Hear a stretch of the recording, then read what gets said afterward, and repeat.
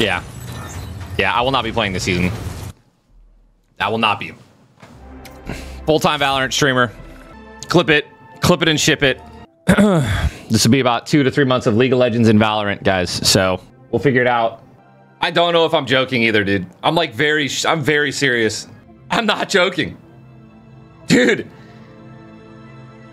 I just got, I just got killed in three seconds by a vehicle. By a turret, by some guy just literally seat swapping it.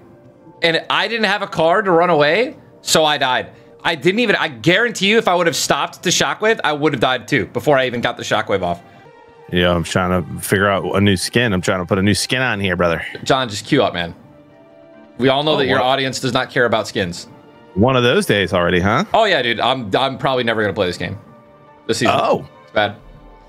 sweet, dude. We're gonna do uh, we're gonna do that Hellfire game. No. Sick, dude. Yeah, why are you so upset, dude?